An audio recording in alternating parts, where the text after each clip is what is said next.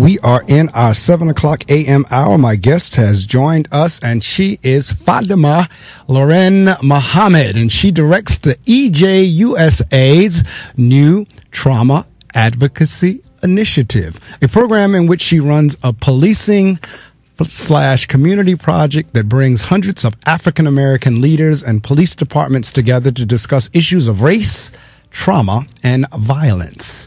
Fatimah's work bridges criminal justice reform and public health practitioners in order to build a trauma informed justice system using a public health lens. Equal Justice USA began this work after years of working with hundreds of crime survivors, largely families of murder victims, and finding that their needs from unaddressed trauma to financial challenges have gone unaddressed in the justice system, contributing to cycles of violence and incarceration.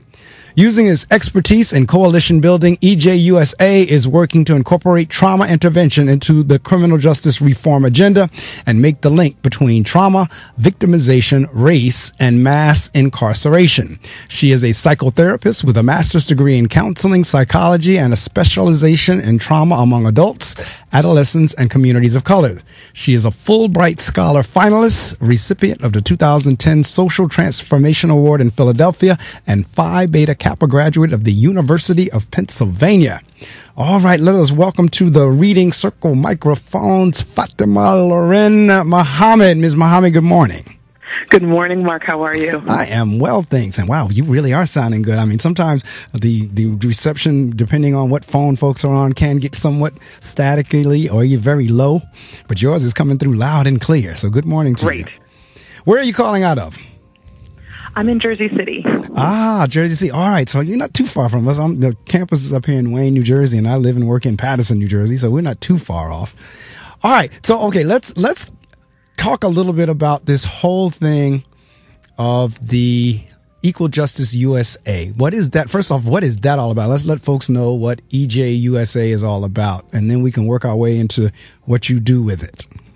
Sounds great. So, EJUSA is a national criminal justice reform organization. We're really working to transform the justice system, as you said in the intro, from one that really harms people, right, through mass incarceration, through um, violence in prisons. Uh, you know, so it's incredibly harmful currently. We're here to reimagine the justice system to one that actually provides healing and support for people in the wake of harm. We want to break cycles of trauma. We want to break cycles of violence and uh, really redefine what it means to say we want justice. When we say we want justice, we're really saying true accountability. Um, and to us, that in- includes healing communities. Um, so EJUSA has been around for over 25 years.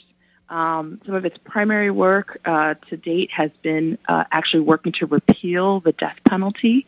Um, it repealed the death penalty in uh, New Jersey uh, about 10 years ago. And um, as as um, you mentioned in the bio, we have uh, worked a lot with family members of murder victims, who, if you imagine the kind of trauma of losing often a son, but you know many other um, family members to violence, to murder, uh, that the people's trauma would be taken seriously by the government. And what we heard victims say over and over again, uh, survivors, uh, was not in my name will you kill another person. Not in my name will you spend all this money to to harm more people. We want the justice system to invest in communities to make sure this never happens to another person. And there are approaches that actually can help stop harm before it starts. And the justice system should be invested in those things.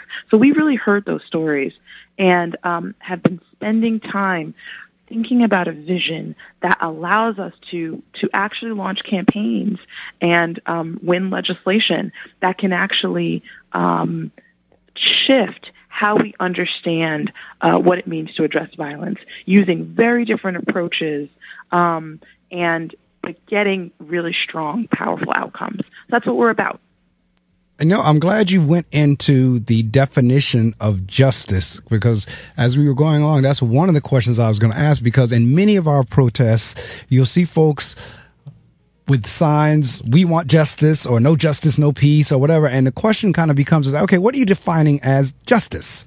Or does mm-hmm. everyone have a lens of what justice means to him or her? Well, I think that anytime you have the voice of people who have been impacted by no justice, people who have for generations been systematically harmed. Um, in, and there's so many studies that point to this. Stop and frisk policies, um, looking at the systematic way that people go into communities, um, that that level of um, uh, targeting will create a whole slew of frustrations and grievances that absolutely must be addressed. I think that that is the, the first step is to listen. Listen to all the grievances. Understand what people have gone through, not just in this, uh, not just nowadays, but systematically through history to really hear those stories. I think when people are protesting in the streets, they're like, understand and listen to our pain, recognize who we are, and that we're not, you know, if you heard this term gaslighting, have you heard of that term? I have. Uh, it's a it's a really powerful term. You know, um, you know, gaslighting being, you know, it's from that uh, a play, right, from the 30s, where this husband would would like he'd turn down the the the lights on the on the gaslight, right? And he'd do all these things to make his wife think she was going crazy. And right. when she would say, "Wait a minute, I'm I'm noticing this, I'm noticing that," he, he'd say, "Well, what are you talking about? I don't know what you're talking about."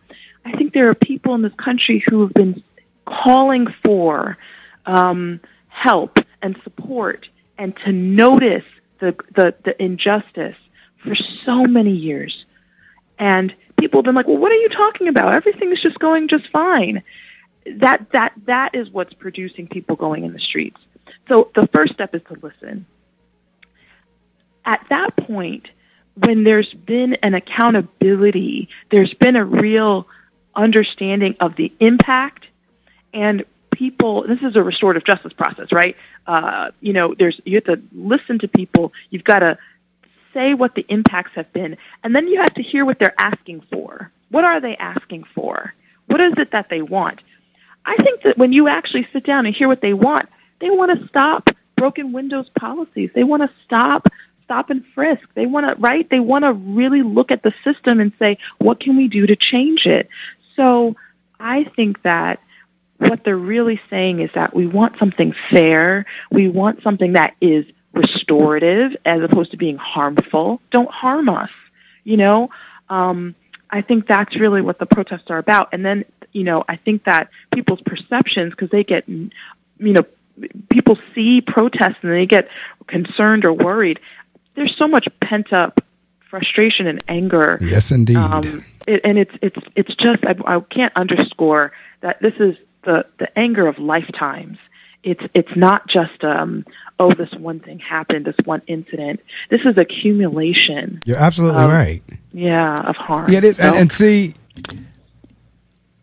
these guys, like you and I could talk all day, and I, and I'll tell you why. Because I work in the schools, and the listening audience knows this. And interestingly enough, I guess education cuts across anybody I have on the show because I always can tie it in. Yeah. But interestingly enough, where you're working at, I'm working to try to stem on the lower level. In other words, there's, yeah. I'm sure, just like you just asked me about gaslighting, you've heard the term, uh, the prison pipeline from school yeah. to prison. And see, that's yeah. what I'm trying to stem at my level. My school is a two to eight school, second grade to eighth grade. And I'm doing everything in my power to help our kids understand exactly what you were just talking about the and I, I kind of call it like the awakening. Like I need, I need you all to awaken to see what's going on, how the system works. It's a game. And like you, you're using the term systematic. It is truly systematic. And, and the sad part is, F- Fatimah is we've almost gone backwards with this current administration. Mm. Because a few weeks ago, a couple months ago, the president was out there in Long Island and he was literally telling the police, don't be nice to him you know, mm. when you put them in the car, you know, if they bump their head on the car going in, that's okay. Right. I mean, I mean, it was all right. kinds of nonsense that this man was right. speaking. And what has now done is now every police officer wasn't with that. I mean, some of the people that's you could see, you could see in the, on the video, some of them, their faces. And then there was a few that was loving it. And so when you start talking stop and frisk and all that kind of stuff, we're serving it. We're, we have an administration right now that wants to bring that back. Yeah. Yeah. Well, let me tell you something. I I'm really concerned about the rhetoric of this president, and I and particularly because there.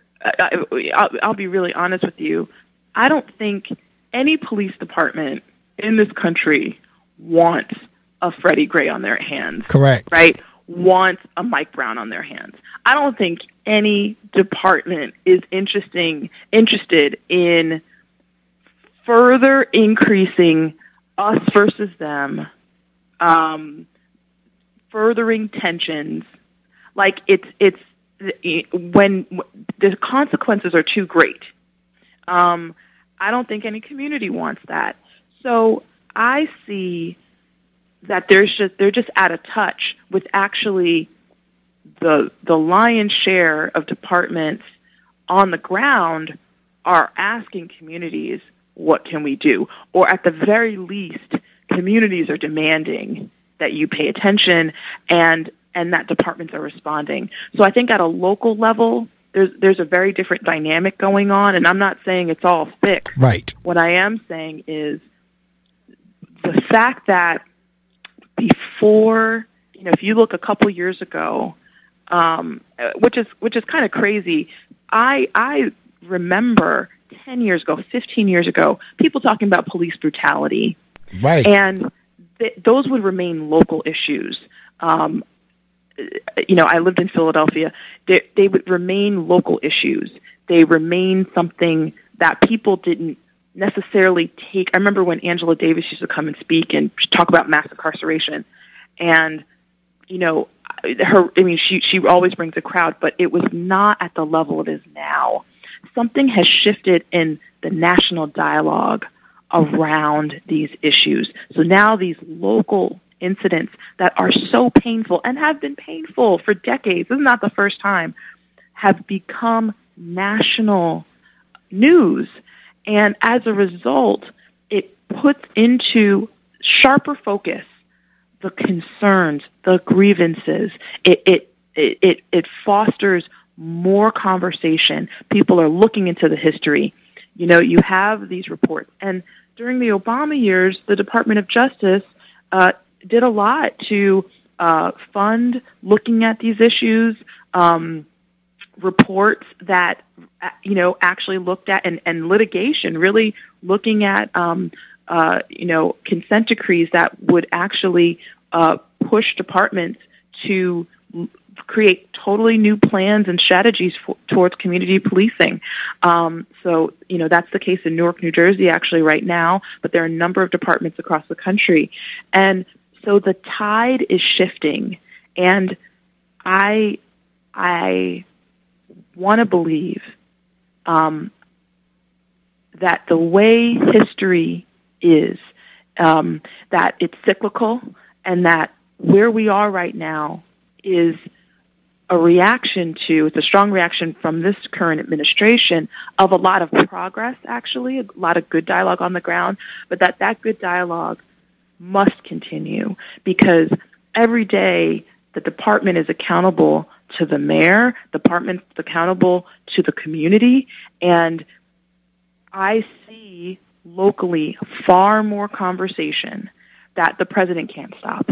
I, I see it and um, I'm again, I, I'm not saying it's fixed or it's done right. or anything like that, but it, but at least no one wants to to to be another Ferguson. They just don't, and they're doing what they have to to start. And starting takes a lot, and it takes sustaining that contact, and that's why we need a movement. Movements uh, push, and they ensure that in different areas there is. Uh, there is progress. And that's what we're experiencing in this country, this movement towards change.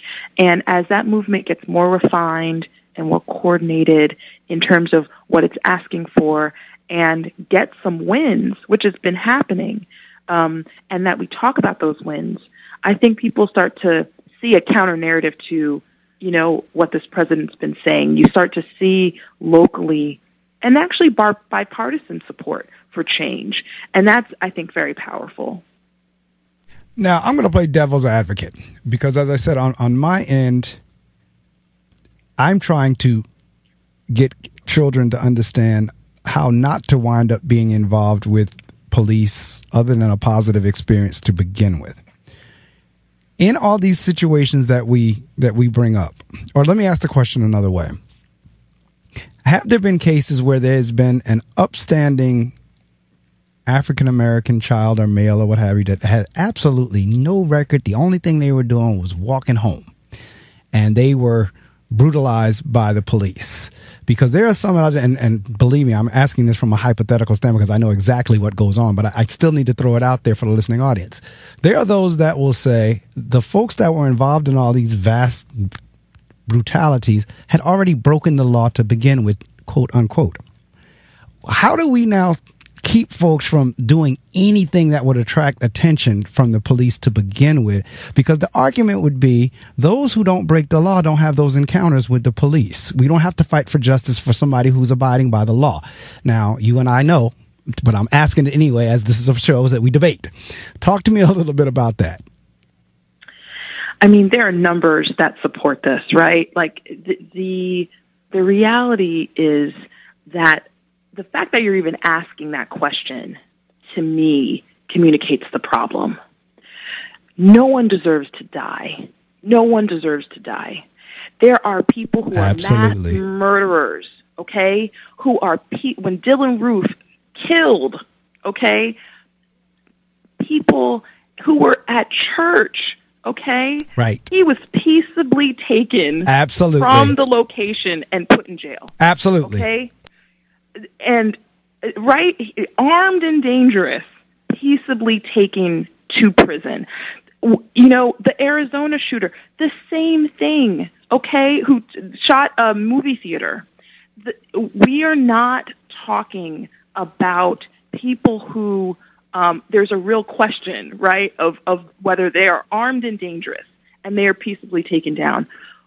The reality is that people have a hard time understanding what the numbers are showing, right. which is that there is a systemic issue with law enforcement targeting people of color, particularly young men of color, on a whole range of things. Correct. And I'm African American. Um, I have I have a brother, I have cousins who share with me, and my brother's in law enforcement, but who share with me incidents in which they are walking down the street uh, and they, they've experienced this targeting. It is such a, a, a, deeply felt story, I think, for those who experience it, right. and for those who don't, it's it's unfathomable. It's like I can't even imagine that. Um, and and that's really the problem. And I think. Uh, you know, if I can be frank with you, no, I need you the, to be. Uh, that's yeah, I need you to be. I mean, with the exception of you know we can't get profane, but other than that, be as frank as you want to be. yeah, uh, I, I I really think that this issue around police and communities of color dates back so far. It goes back to the history of policing in this country. And there's a lot of trauma. There's a lot of trauma on both sides. And that's what's producing, I think, this lack of conversation. Most people, if it's something rational, you present an argument, you show them a report, you know, this is how science works. Here's, here's a report, here are the numbers. You can look at the numbers and go, okay, yeah, um, th- that, I can see that. I can see the, you know, so Tamir Rice, is a young man. He's 12 years old. He's playing in a park. Correct. Okay? He gets shot down. Okay? And obviously an innocent, beautiful 12 year old boy. I saw this picture of him and I, I, I got so emotional because even in the face of those examples, and there are numerous ones, but even in the face of those examples, people still have something to say. Correct. And that's that, and that's exactly why I threw that because that's yeah. that's the that's the talk, that's the rhetoric. Well, had they not done anything to begin with, right. the police wouldn't have been. That's not necessarily true, and this is where the issue comes in, and why we have groups such as EJ USA or Equal Justice USA because we're not being heard. And the truth of the matter, and you're a psychotherapist, so that means you, your degree is in psychology. There's some psychology that goes on that people really overlook and don't think about. And this is my opinion. So I, will go back to the disclaimer. The views and opinions heard here are solely those of the host and guests and not necessarily supported by. I totally my opinion is that you have some subconscious things going on. You have some subliminal and subconscious things going on that when that call comes through, and it's in an African American community, or the person thinks, or the police officer thinks it's an African American, there's some subconscious things going on. There's some fear going on. They're already amped up higher than they would be if they were dealing with a Caucasian perp. That's why you're getting what you're getting in terms of the young man in South Carolina being walked out peacefully versus had he been African American, he probably would have been killed on the scene or at least roughed up. So there's there's there already there's this fear. If I'm if I'm if I'm a police officer that if I'm going to be dealing with a person of color, I already have heightened to another level. And now if there's a chase or anything that ensues, I get ramped up even more. And now once I catch that person, I'm to the, I'm in a state where I don't even realize just how much damage I'm doing. And see, that's what now, if you were to question somebody and, and question them, they would deny that up the hill. Oh no, that's not it. We, regardless of who it is, we come at them the same way. Not true. Yeah, and I think what's so powerful about the research on implicit bias, and this is why people use that term, implicit, the tests for implicit bias are the, the millisecond reactions we have right. to stimuli, right. which are before your conscious mind is operating, right? Absolutely. Are, are the, when you are in that the thinking part of your brain, the decision making, it takes a long time to get there we have a region of our brain that developed much earlier on um, and is reactive, right? So when you trip, you don't have to think, "Oh my goodness, I'm falling." You know, I should do something about it. It, it, it would take too long. You'd be, you know, on the floor already. So your your body reacts, and there are these these trigger hair responses. So you're absolutely right. Implicit bias. Uh, it's just a field of understanding um, race, racism, from the standpoint of those split second decisions uh, that happen, split second reactions that happen, um, and, and, you know, in a controlled space, but also out in the field. Um, now, listen, I am not a, in law enforcement. I do not know what it's like to go towards bullets, to be to get a call and and say they're armed and dangerous, go right. Um, I don't know what that's like. And I want to say that there are people who put their lives on the line every single day, and that that uh, is is worth acknowledging and being grateful for. Absolutely, because I don't have to do it; someone else is doing it, and I'm very grateful um, that there are people who are trained to do that. That being said, the, the, the implicit bias once you acknowledge it, right? Acknowledging it allows us to do something about it. Correct. Actually shift it to actually being aware of it. You know, bias is bias. And I believe that bias is universal, that we're biased towards lots of different things. And, but the systemic bias that isn't acknowledged, right, is what is harmful. When, when you have information and you're not using it to make a, a, department better to actually ensure that you're not harming the communities you've been sworn to serve and protect, now we have an issue. Correct. And and I think that th- there's there's not been a seriousness. I, like I, I believe that there should be a seriousness. You know, when when we say officer, we should think highly trained. You know, I think about like ninjas, right, who are just right. so precise who are so you know um, uh, aware, who who know how to do de-escalation in a way that is above and beyond, like the, that level of training and skill. And we're not there yet. The the training for law enforcement is just a couple months. Right. And it's it and you're given a gun and you're endowed with the authority to to um, shoot and kill someone. That's serious. And we so we really need to look at training of law enforcement in a completely new way. And you're right in terms of like you were right? just saying about the whole de-escalation. And that de-escalation ought to apply regardless of who it is regardless if it's male, female, gay, straight, Absolutely. black, white. That de escalation methodology ought to apply regardless of who. It shouldn't be, I'm going to get especially hyped up if it's this group and less hyped up if it's that group. I'm going to be more fearful if it's this group and less fearful if it's this group. The procedure is the procedure is the procedure and should right. be applied to all. That's right. That's exactly right.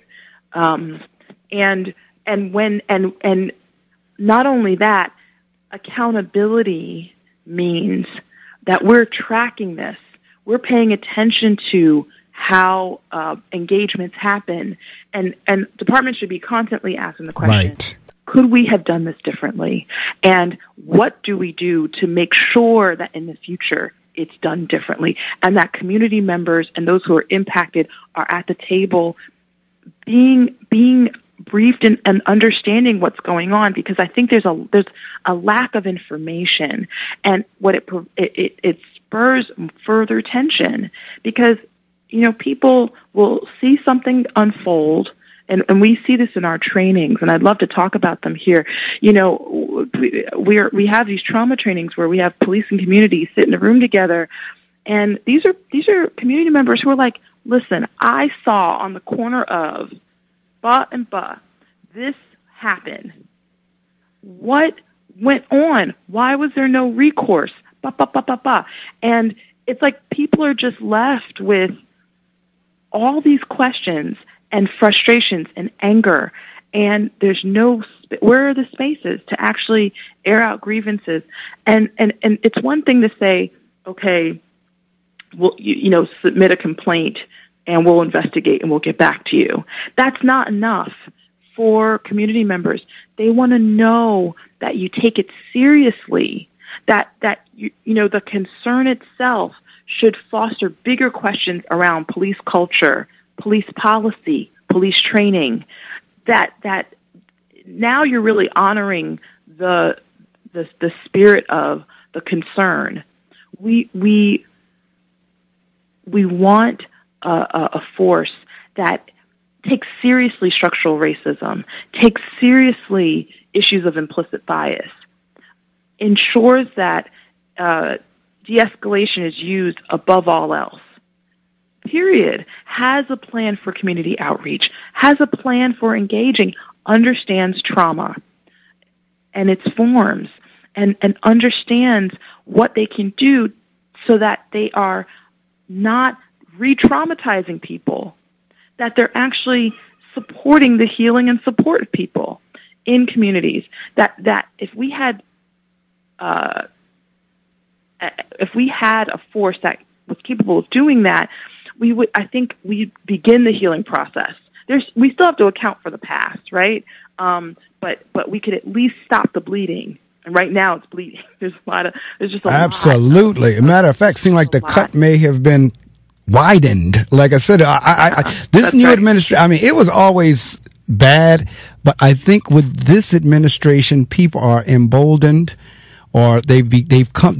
I think what happens with this administration and the reason that he is as popular as he is, whatever his group is, is they feel he's saying what we want to say, but we can't. He's, you know, this president is doing and saying things that we've always wanted to do, but we can't do. But through him, he's doing it. So therefore, since he's doing it, we can do it too. And that's so making things worse than what it already was. Now, interestingly enough, I heard you saying something about the numbers, but the game that's being played is folks try to tell us we don't see what we see. They try to tell us those numbers don't exist. They try to tell us those numbers don't mean anything. They try to tell us what we saw on that video did not occur. I mean, this is just going back to the Rodney King days, but it was happening prior to that. But Rodney King kind of put it on the map of video and folks still saying, no, that's not what you saw. He just got right. the life beat out of him, but you didn't see that. We had a right. situation where the, uh, the the gentleman was let off a couple of weeks ago that you clearly could hear him saying what he intended to do and got out the car and did it. And they, they again, you didn't hear that, you didn't see that, it didn't occur. But that's that's where the problem, like, like you said, until until we get serious about, look, this is the situation, this is the reality of it. What are we really seriously going to do that's to right. change that? It, it's right. it's it's going to be it's a tough road, and and when you have somebody that's perpetuating, I mean, when you get the president of the United States stand up and yeah. say, "Don't be too nice to him." If you need yeah. to bump their head in the car as they get in, then so be it. I mean, that's that's that's uh, that's serious there because it is, it really is. And and then you and I'm going back to my first question, and I because I tell my kids all the time, I said, let me help you all understand something. I said, during the school day, you see me dressed up in suit and tie as your principal. I said, but when I go home, I put on a hoodie and jeans just like you do. And if I'm walking the street and something's going down, I stand just as much chance of being brutalized or shot or killed or arrested, particularly if it's a mistaken identity, as you do. Mm. For the very fact that I'm an African American male. And if that's one of the groups that's talking, because back to stop and frisk, when Rudy Giuliani was mayor of New York, and, and I get his whole quality of life initiative, I understand it. But at the same time, if you're going to use that as a guise to target people of color or various groups, then you kind of okay is this really about quality of life or is this really about you know what i think they're the ones that's causing quality of life to be bad for everyone else. Because even, and that's why I say, man, you could talk all day. Even whenever the president got and said, let's make America great again. What, what are we really talking about here? When was America yeah. not great? What are we, what, are, so when you start saying quality of life, and you start targeting certain groups, really are what you're saying is, well, if these groups didn't exist, our quality of life would be a heck of a lot better. Mm, right, right. It's incredible. It's painful. It's it's really painful um, to, as you said, the, the, despite the research, despite the numbers, you know, it's like before there was proof, there were stories. People right. didn't listen to the stories. And then there were the numbers. People didn't listen to the numbers. Um, and then there were protests, right? People got to the streets. And people still are uh, frustrated. Right. Uh, because they don't feel the stories are being honored. And honored is different than what fact checking. Honored is I hear the grievance, I hear the structural analysis, right? So it's not always about, okay, this, I'm not saying this isn't important, but what I'm saying is if you see a video and it's like this, this well you know, if you saw it from a different angle and you get hyper focused on this incident, but we're not honoring the situation, right. honoring the right. pain of those families and communities who are saying, you know what, this has happened to us times a million. Right. Okay? This has happened to us and we didn't we we're angry because of the cumulative pain. And you have to acknowledge that. Right. Not just, oh, this camera angle shifting to here, you would have seen something different. No. The, the, but the incident is obvious, is incredibly important. So let me not, I don't want to uh, make it sound like that's not, but all the incidents before that were not publicized, where, where no one knows the names of people. Right. Those are also important. And when people are aggrieved, they're talking about the whole thing. And in our training, we actually talk about that.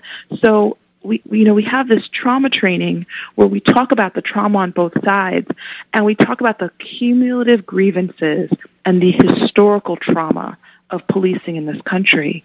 That it's traumatized people and that there is a need for departments to address the historical trauma. Correct. Right? That, that you can't escape. You, even if you did everything right today, okay, everything right, it still doesn't stop the, the, the, the systematic anger and grievance that has not been addressed. Correct. And and that we have to weave that analysis in. Um, and I think when officers understand that their badge, just the badge itself, is traumatizing, it's very powerful. It's very powerful though, because to them, you know, for the individual who puts on the badge and, and it has a real intention of doing the right thing, they can get bitter over time because they're just like, I'm doing the right thing. I'm not out here, you know, shooting up black right. men. I'm doing the right thing. Uh, there may be some bad apples out there, but then the whole department suffers. Correct. When you say, well, but your badge itself is traumatizing, and the department has to understand the historic grievances. And I, I don't want to make history history sound like it was long time ago. It's just coming from a long time ago to the present. No, no, no, the, no. You're you're absolutely right in terms of your your thought process in terms because it's always been there.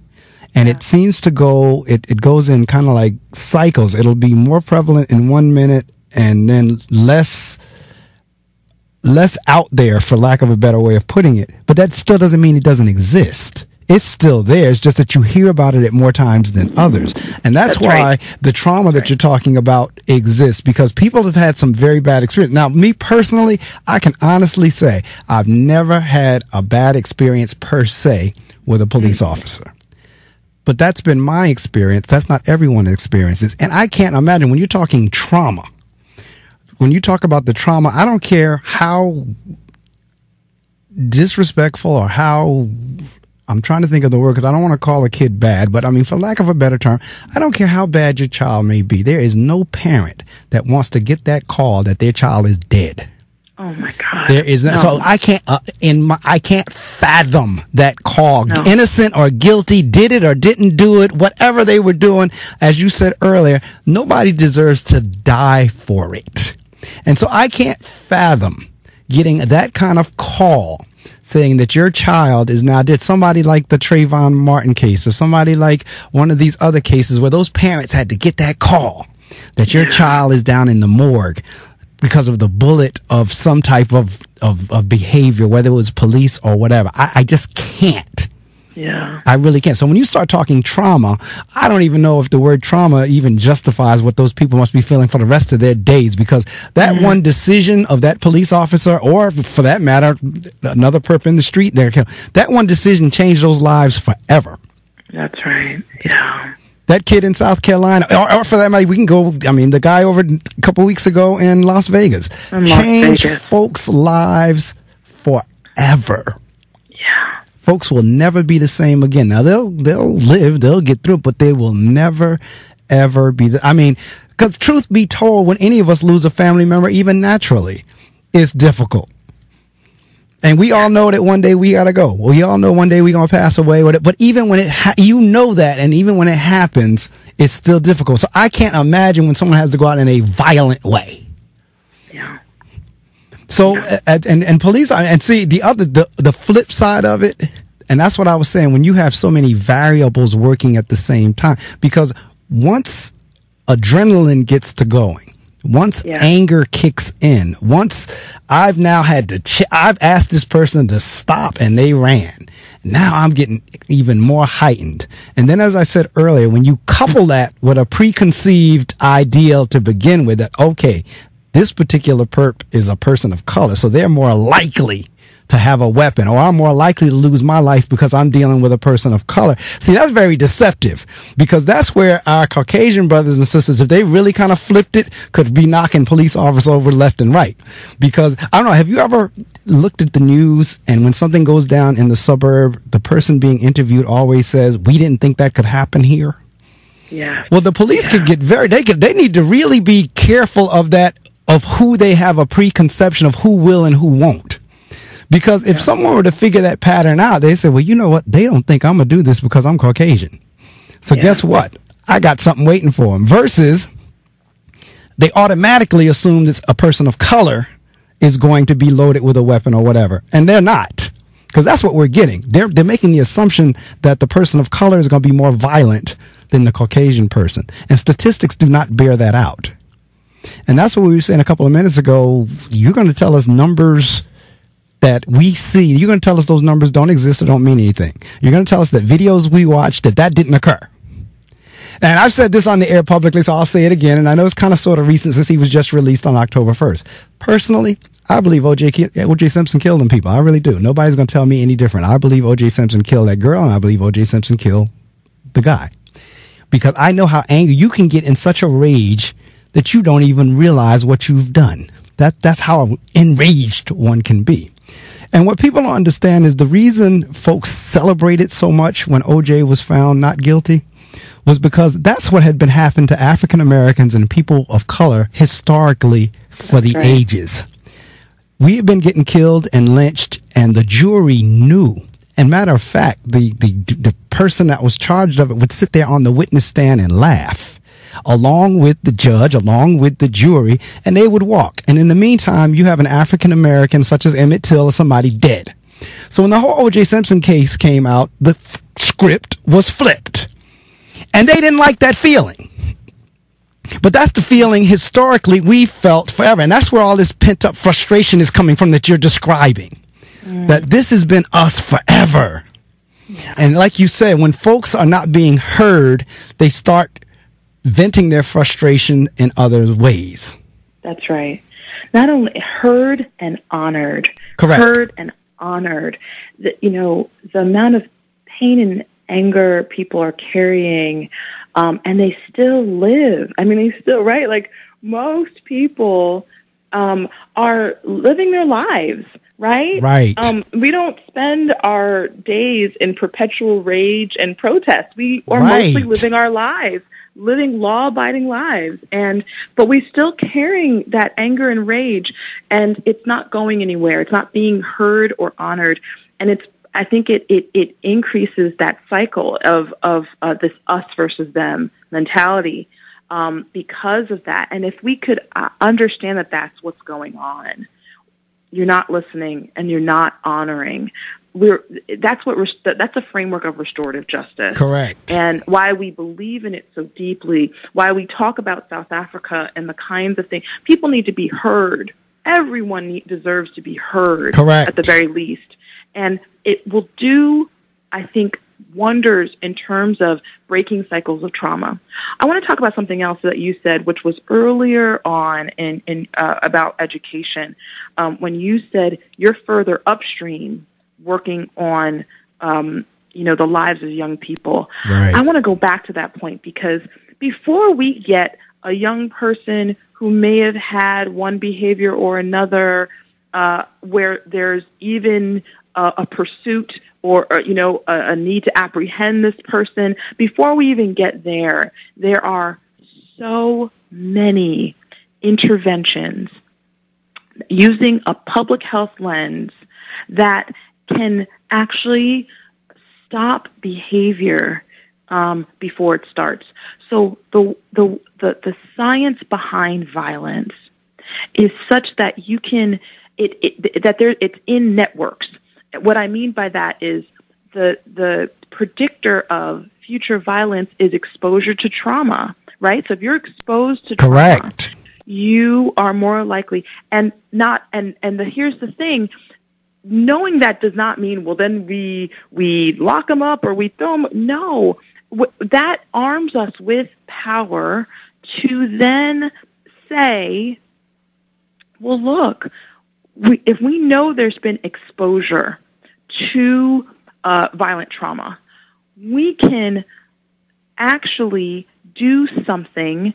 We can intervene at when people are victims of harm to put them on paths towards healing where they're less likely to retaliate or to take up arms themselves. Correct. And so there have been programs across the country that have been doing this and they see 70% reductions in violence in neighborhoods um, and violent shootings. They're seeing, I mean, incredible numbers of reductions. Well, violence isn't even happening. Right. No one is picking even, even picking up a weapon.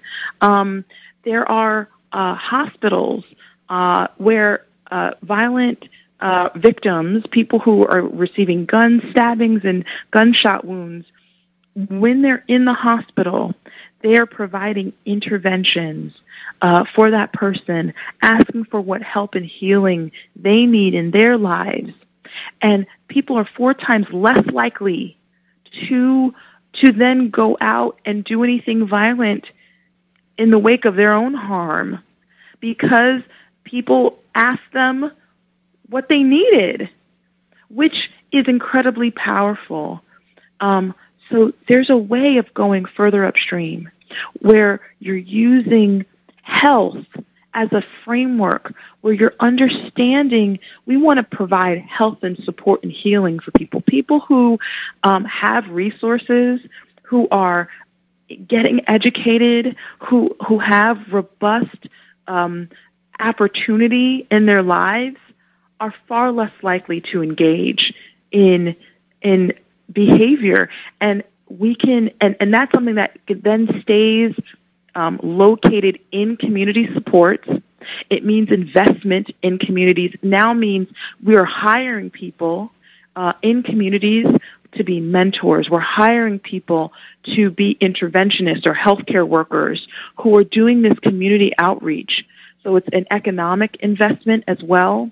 So it locates the job of um, violence prevention in communities managed by people who are looking at the health and healing of people so that the need for uh, downstream approaches, right, uh, just becomes less and less. We don't we don't need uh, because when police when you get to the point where it's a police officer intervening, again who have the authority with a gun, that that intervention first of all, should still be using de-escalation tactics, right? Even when an officer is involved, there should there's the the use of a gun sh- it, it should be only in extreme cases, right? Correct. So we want to we want to think rethink policing Correct. and how it's deployed.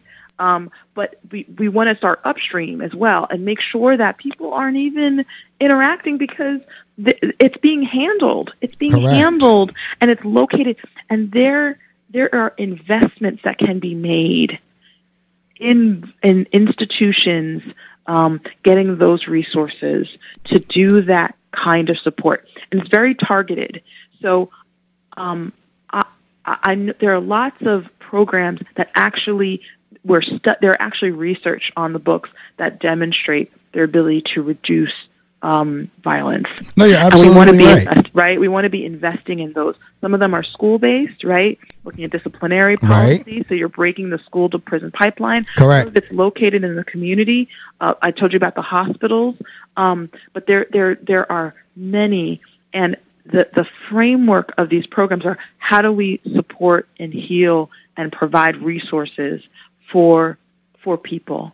Um, so we, we care about that. We want to make sure that, especially victims of violence, that they're getting the need, their needs taken care of.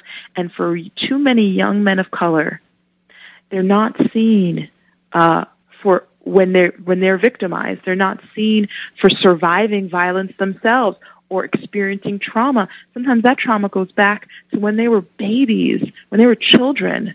No, you're absolutely right because at, in the building that I serve, it's in an urban area, and a good number. And I was having this discussion with someone not long ago where a good number of our children are actually suffering from PTSD, post traumatic syndrome.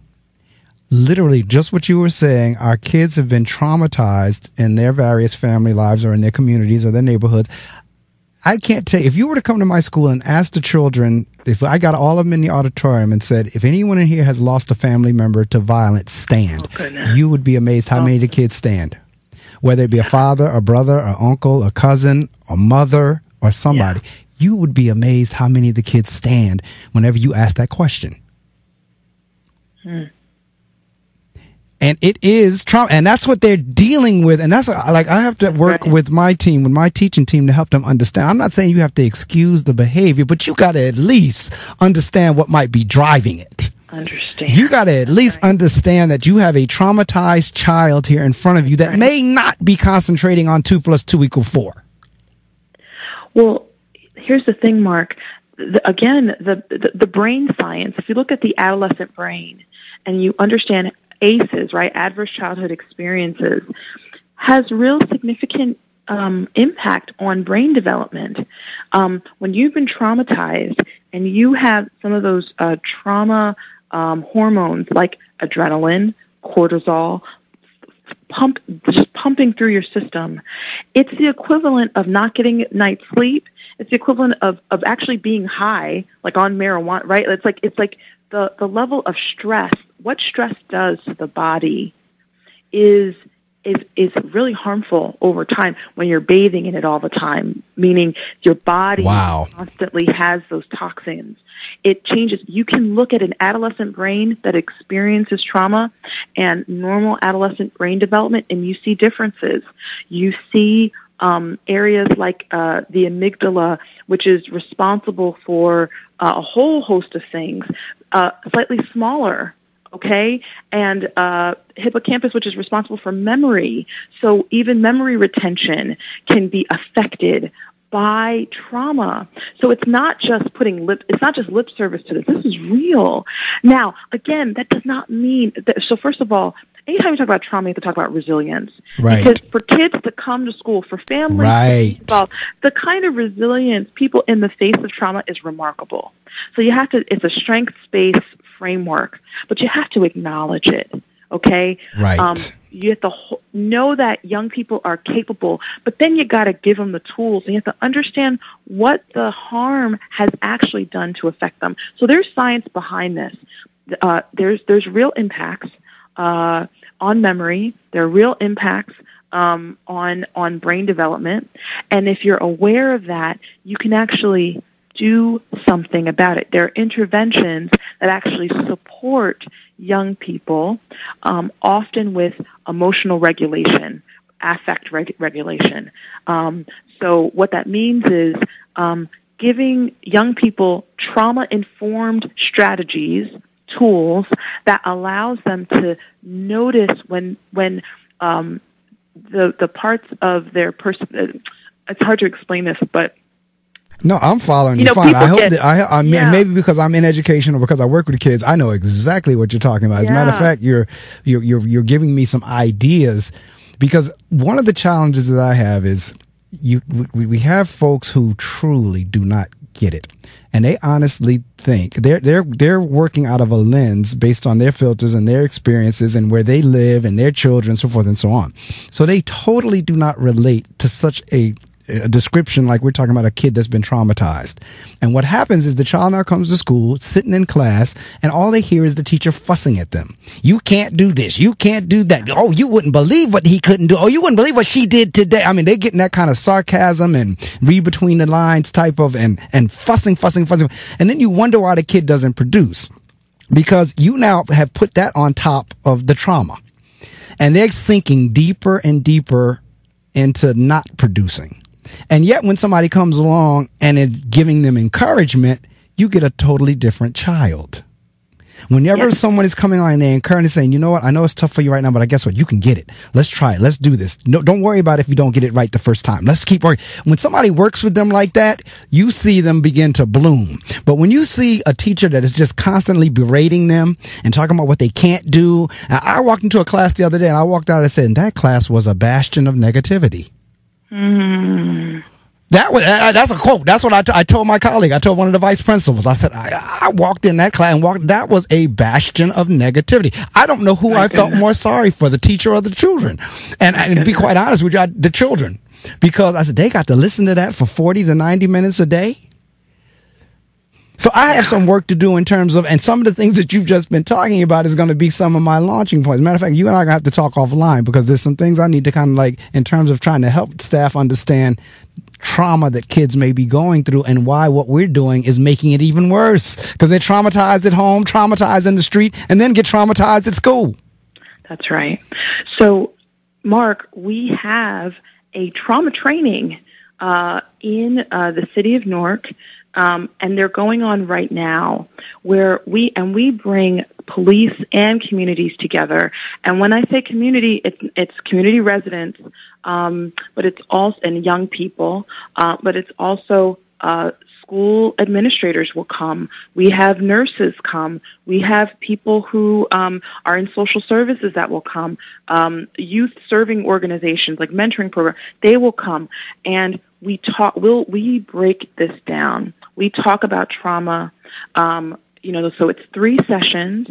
Um, the the the ones that are upcoming. So you can go to our website ejusa.org okay? Again, ejusa.org, and you can click on, um, uh, there's a, a, flyer that says violence. You can right. click on it, and it will um, talk about the fall trauma trainings, and you can see the dates.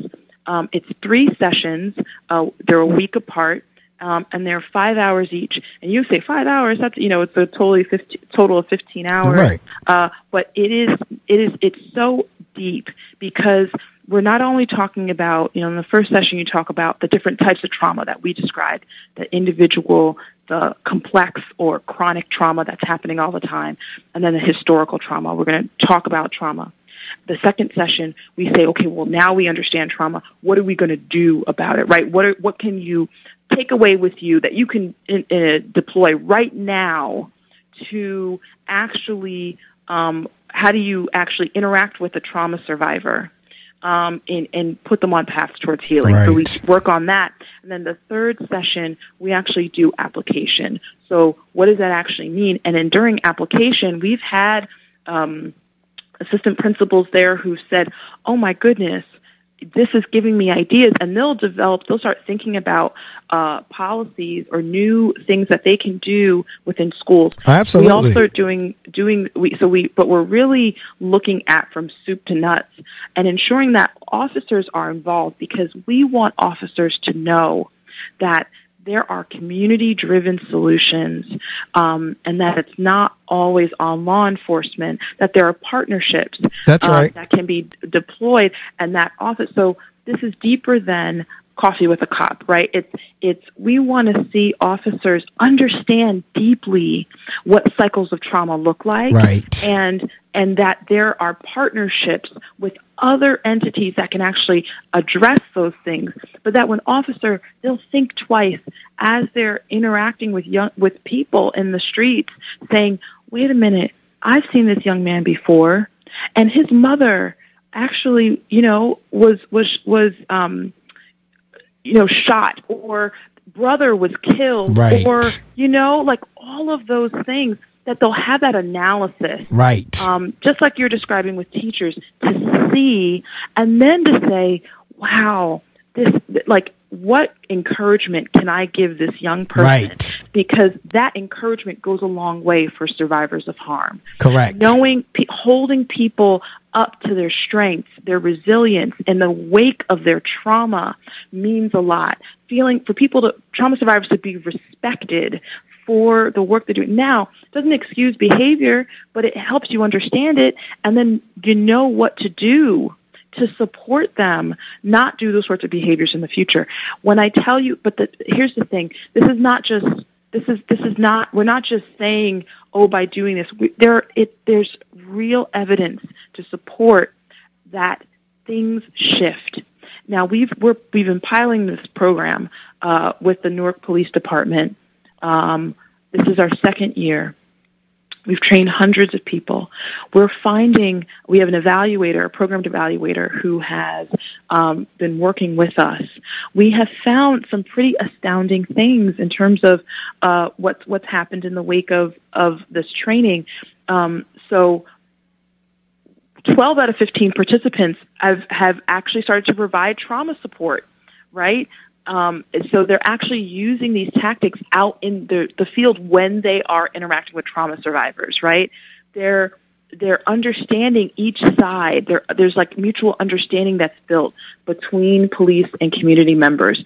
So listeners can actually come and and get this experience and just like you Marc have this aha moment where it's like wait a minute i can see the application of this in in my own uh, uh, professional lives, personally, right? Um, but can also support others.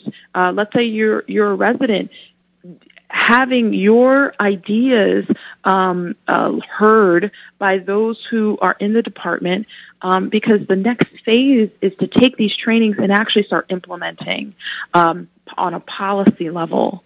Um, get investments from the state uh, to for these sorts of programs. We, we're not just talking about trauma. We actually want to to shift the way we handle trauma in New Jersey. Absolutely. the way that it happens. And that's in Paterson, right? Places like Camden. We want to make sure uh, we want to we want to see this in New in New Jersey. We want to see it in the country, right? Um, wh- when you have this analysis, and and it's not just a trauma in the community; it's trauma for the officers too, because trauma in the officers impacts use of force. Correct, issues. because There's very high suicide yeah, exactly. So there's there, there's a real opportunity we see with this framework, seeing the other side, but also doing something about it. Now I need to take a hard stop and do the weather and all that stuff because we're in the eight o'clock hour. But if you've just joined us, I hope you've been with me since six. But certainly, if you wasn't with me from six, certainly I hope you've been with me since seven. As my guest is Fatimah Loren Muhammad, and we're talking about a plethora of issues, and it's issues that are extremely important to talk about way of life. I mean, if you want to talk about way of life, the things that we're talking about this morning will improve it for everybody. But we, as she just said, we have to move beyond the talk into implementation. And I'll say this before I go to the break. A very good friend of mine is a police officer and she's very community oriented here in Paterson. And, and she always says, she said, Marc, you know what my issue is? The whole thing with the police brutality thing is that the kids that you're working with and we're working with, they won't want to become police officers. That we, like, uh, going up the line, we won't have any children who are interested in becoming police officers. Particularly people of color children, African American children, Hispanic children, because they will constantly, and if that happens, now you continue to perpetuate the cycle of people who don't look like us in our communities, and the cycle continues. I'll talk a little bit about that when we come back, but we are in the eight o'clock hour. I'm going to go ahead and let you know what's going on with the weather and everything else that I need to do also. And then when we come back, we'll continue our discussion.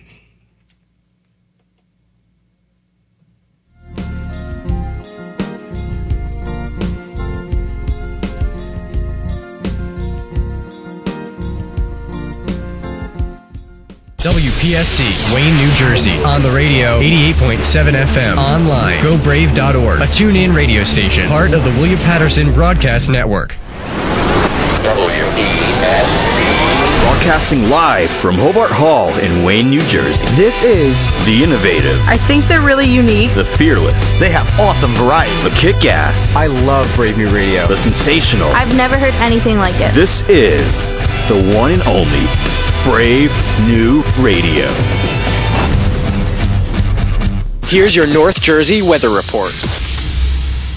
All right, we're working our way up to a high today of 75. AM clouds, however, it'll be sunny this afternoon. I'm glad of that since I'm going to be working on this playground at the school. 62 as a high.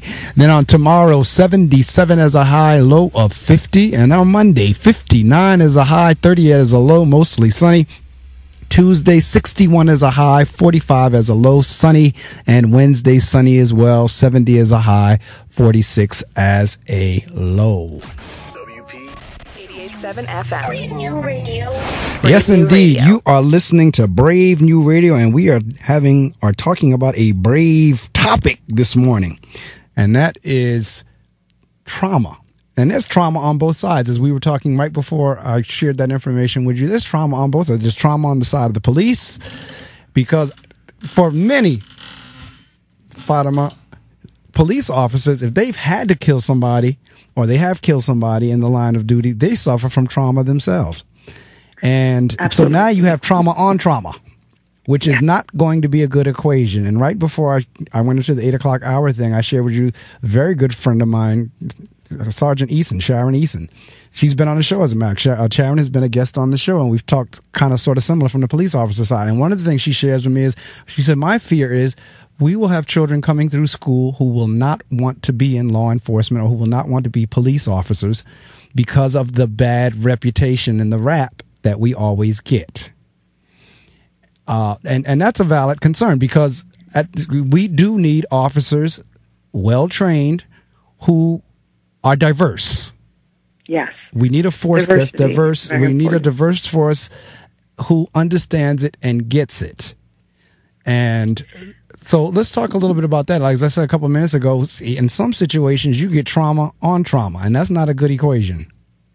No, and you know it, it's a it's a two pronged thing. Um, you can have a, a great officer in a department that still has policies that systemically systematically go after and target communities of color. So I want to kind of separate them uh, because I think it's really important. A, a department we need to reimagine policing. You know, I think that's the conversation we're in right now. Policing um, that is not oriented towards community, that is not looking at de-escalation as the first line of engagement, that is not understanding or coordinated with other violence reduction strategies that do, that use community-driven solutions and and um, and public health approaches um, is is is not going to provide, I think, the kind of comprehensive support that we really need. We want a comprehensive uh, uh, strategy uh, for the set of challenges we're talking about here. Um, so, so you you need that context, and then we also need need to make sure that we have a um, a force that reflects the community, right? That is uh, diverse, that has um, a, a real um, understanding of people who are from those neighborhoods. All those things are incredibly important, and I think that the concern your friend has um, about it, you know, policing getting a bad rap has to do with people understand policing through the context of its historical and, and present day um, uh, role in harming people. And I think that that is not obviously the case, that there are many officers who are doing so much work to to really contribute uh, to communities who have these values, but they're single people, right? Um, and I'm not saying it's just one person. I'm saying there are many uh, uh, folks who have this. Um, the I think that the the the bad rap that policing has will shift when departments actually shift, right? When you know, like Correct. in the pudding.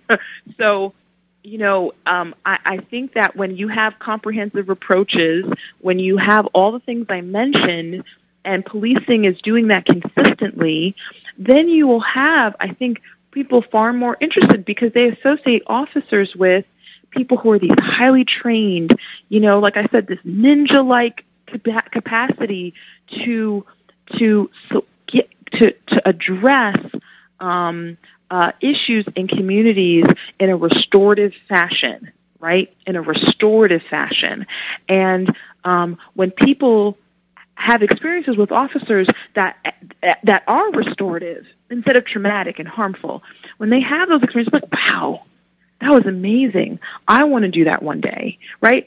That's Correct. That's what inspires people, right? Um, we're not quite there yet, and I think conversations um, that start there miss the bigger context. And I think sometimes in the bigger context, you miss the individual officers that are actually doing great work. It's not either or, it's both. There are great officers who are doing incredible work right now that have this analysis, that understand these issues, that do things on their own. I mean, I, I've I heard stories of officers. I mean, there's an officer at one of our trainings who's like, I give out lollipops, you know, and Right. you know, she she mentioned, you know, she told this really great story of she gave a lollipop to someone, and I hope I'm getting the story right. Gave the lollipop to someone, and the woman started yelling at her, right? And and she just listened. She was like, you know, why is this woman so upset? And the woman said, you know, no one really listens to me. And and because she'd given her the lollipop, she knew she'd listen, so she just kind of aired out all her grievances. And but the the officer just listened. And then the woman was done.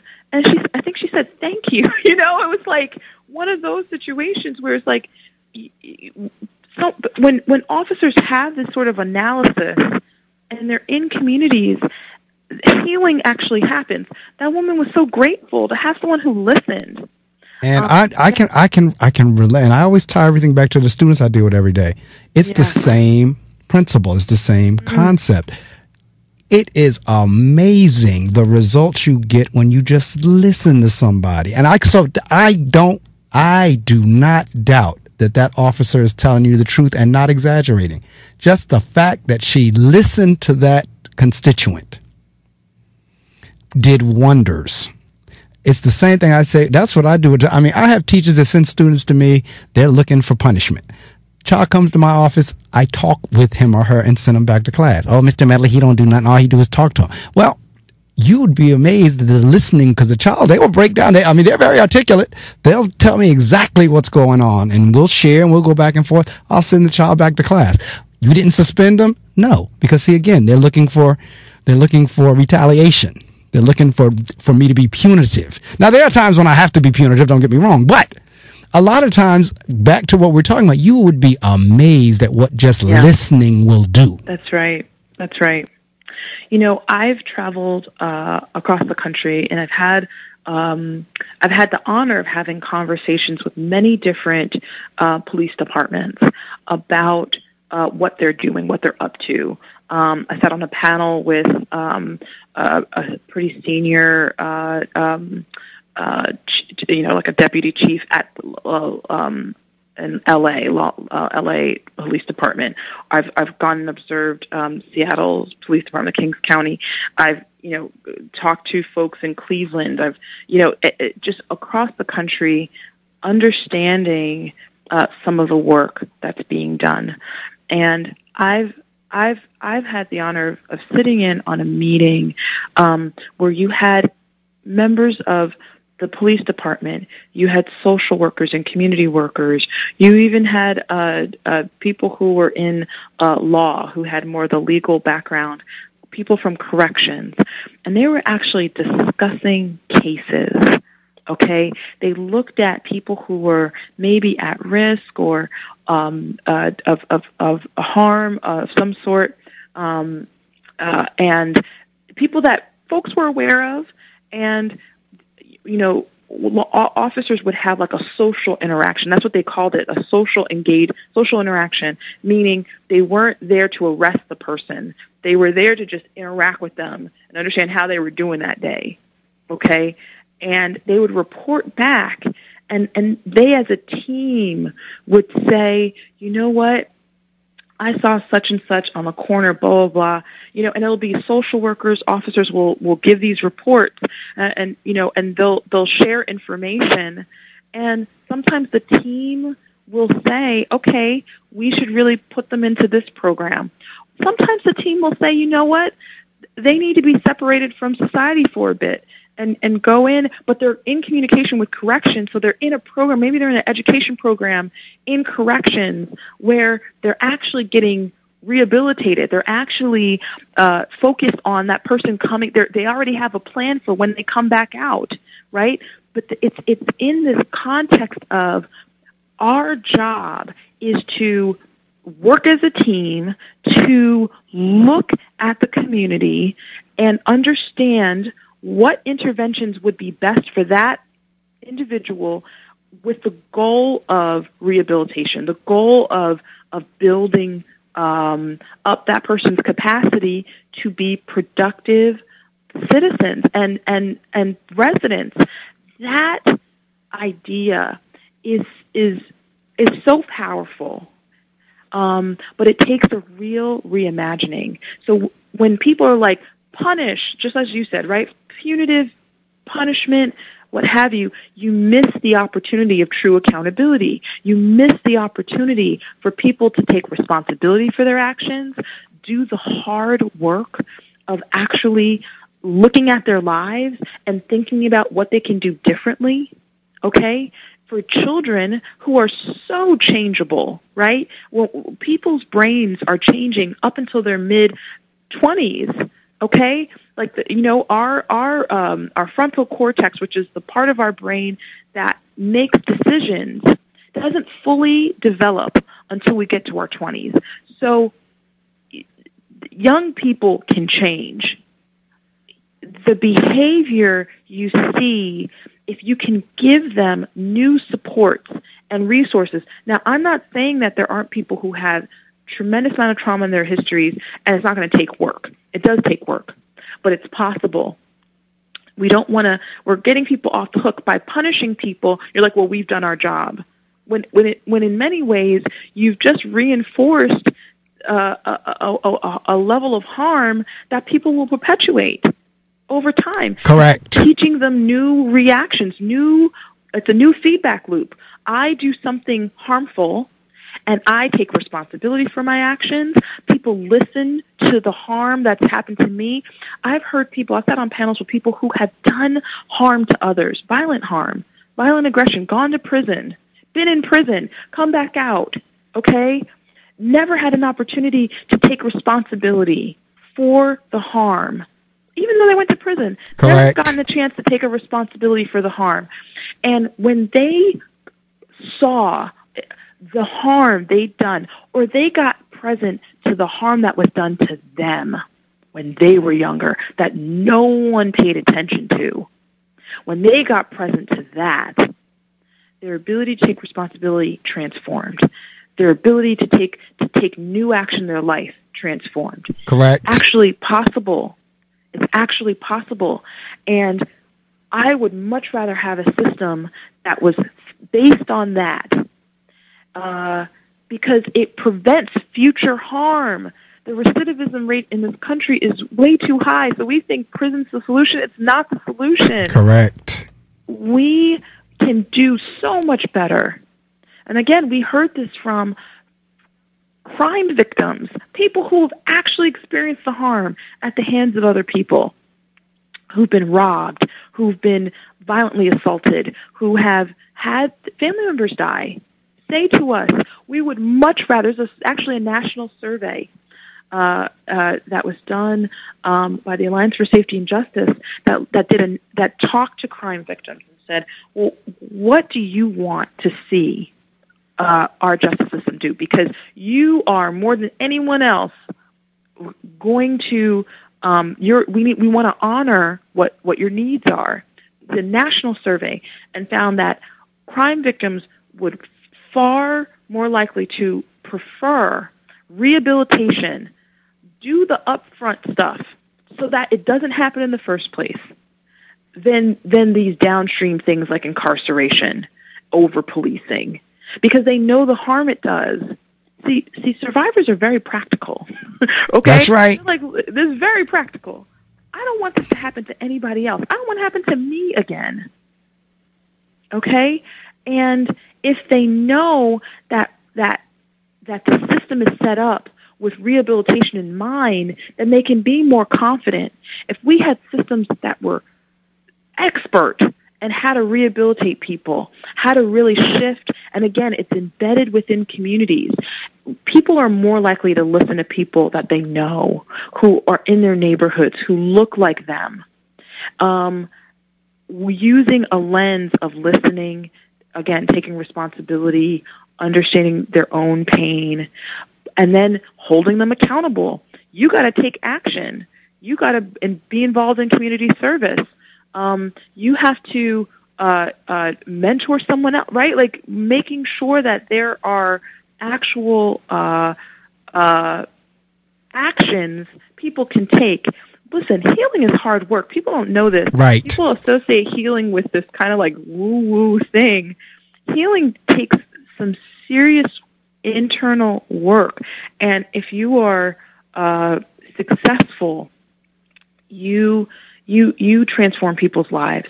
So in our training, in our trauma training, we we talk about what healing resources are out there. We had a um, a, a clinician come in and talk about the kinds of cases she sees um, in her work, and it was remarkable. She shared about um, uh, a, a woman who was being trafficked Okay, you know what I mean? Human trafficking, sex trafficking. Yes. Had been her sex was being sold, okay, by others, by other uh, people. Um, and I, I'm keeping a very general discussion, uh, general description to um, maintain the confidentiality. But um, and she wanted to get out. This woman was under the age of 18, okay, so in high school, wanted to get out of this situation and, and needed help. And this clinician worked with her and and she was able to get out. And you know, this is that's that's that's not you know woo woo work. That is serious healing to get out of those sorts of situations and shift the trajectory of that young woman's life. Okay, um, that's what's possible, and we need to invest in those things more. Um, so, you know, we, as I said, we we our EJUSA is really focused on we're on the case, right? We're really focused on investing in um, a, a, a whole new way we understand justice as true accountability, as something that really heals survivors in the wake of harm, making sure their needs are met, okay, um, and that there are resources available for them to heal, um, and that communities feel safe because they're they're at the table, right? They they they understand what strategies are to support healing um, and and to make people safer. And that over policing isn't the answer to making people safer. It is a reimagined uh, way of doing business that prevents harm in the first place. And that th- that's that's our analysis. And there's a real there's a growing movement in this country to to focus on uh, those that level of intervention, that level of reimagining, and we're really excited about it. And we really think that New Jersey um, uh, has a real opportunity to to, really implement these uh, policies, these systems change, a culture change, um, using this lens of trauma. Um, and so we're really excited to be doing this work here. And there are a number of groups uh, that in, in, New Jersey, there's a, a New Jersey crime survivors um, group, which is is focused on um, uh, addressing issues around victim compensation. Um, that in the wake of harm, there's actually uh, money available for uh, people, um, and, and money in two different pots uh, funding for uh, service providers, uh, so like that clinician I mentioned, to do this powerful work with crime victims, right? So change the trajectory of people's lives, so prevent future harm. Um, so there's resources for that. Um, there's also resources for individuals to apply. Um, so you think about a family member of a murder victim; they have to do a funeral. Their economic situation might drastically alter because that family member may have been bringing in money to the family. There may be children left behind who don't have a father or um, a, a brother that is supporting, and there's a need for uh, resources. Um, the, the state of New Jersey has tens of millions of dollars in this for for the, the these um, what I described for service providers like clinicians to do this healing work and for individuals to, to get the support in the wake of harm. And ha- did not use it, Marc. That money, and there's a Star Ledger um, article about this, that money uh, they had to give it back to the federal government because they couldn't use it. Wow. There's right. So you talk about the kinds of uh, uh, programming that can happen in schools, the kinds of supports that could really, um, uh, really address the core needs. When you talk about all those young people who have family members who have died, there's actually resources to support young people that can actually, I mean, in the state of Massachusetts, they're using their money to actually do a, a fund for for um, schools. Okay, um, that, that there's millions of dollars for this. Okay, that that the state of New Jersey is giving back because they can't use it. Why? Because there, the, there's a lack of vision. Um, there needs to be a rethinking in, in state government about how how we can um, make it more accessible, particularly in communities of color where there's far more victimization. So there's real opportunity here to shift the way we understand, and there are actual resources to do it. Those resources are used for those hospital-based programs I described. Um, so we, we there's not a question of well, where's the money? There's money. There's resources. That's okay, right. there's resources. That's right. This is this is a situation where there is actually money, and it just takes. It's it's about having a vision for how it's used. It's having an understanding of what the issues are, and it's going out there and actually talking to the people who are most impacted by these issues, talking to people who are closest to the problem and are closest to the solution to those problems. Um, and you know, I think it, I'm quoting Glennie Martin with um, Just Leadership USA, who's done incredible work um, as well. There, there's there's just this growing number of organizations that are um, doing this work, and we're so proud um, that this movement has this analysis, and we really are looking forward to seeing change at a really profound level. Well, I tell you what, with that being said, we have, for the most part, come down to the end of our interview. There's two people I'm going to, I'm going to offline when I get a chance to talk to you. I want to connect you with. One of them you may already know because she is the advocate of advocates in my school. And I'm going to connect you with her as well as that police officer I was talking about, uh, Officer Eason. And because I think there's some synergy there. There's some great things that if the three of you connect, can happen in the Paterson area. Um, like I said, the, the person that teaches in my school, you may know her already because she's known throughout the state for her advocacy and she exactly what you're talking about in terms of restorative justice. That's her thing.